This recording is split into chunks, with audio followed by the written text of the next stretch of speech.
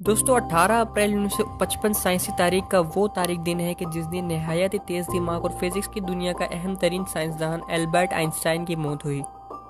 दोस्तों, आइंस्टाइन की मौत कैसे हुई? मरने से पहले इसके आखिरी अल्फाज क्या थे और मरने के बाद इसके दिमाग के साथ क्या क्या किया गया? अगर आप ये जानना चाहते हैं तो हमारे साथ आखिर तक जुड़े रहिए, चैनल को सब्सक्राइब कर लीजिए ताकि इसी तरह हम वीडियोज़ बनाते रहें।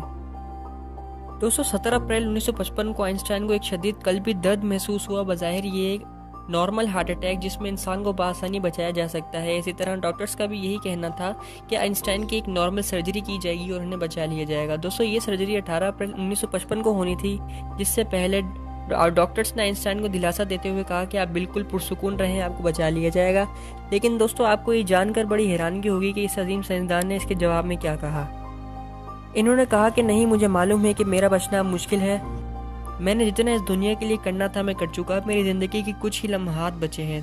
दोस्तों, इन्होंने मजीद कहा कि मैं नहीं चाहता कि मेरे मरने के बाद मुझसे मेरे जिसम का कोई भी हिस्सा लहदा किया जाए, यानी इन्होंने साफ़ अल्फाज में कह दिया कि इनके जिसम को इनके हर अजू के साथ सुपुर्द खाक किया जाए। दोस्तों, बस इनका ये कहना था कि इससे कुछ ही घंटों बाद ऑपरेशन कामयाब ना हो सका और इनकी मौत हो गई।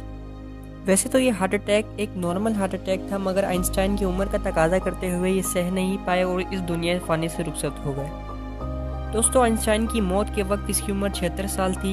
ये खबर पूरी दुनिया में जंगल में आग की तरह फैल गई और इसी दौरान इस साइंसदान की लाश थॉमस हार्वे नामी डॉक्टर के पास भिजवा दी गई।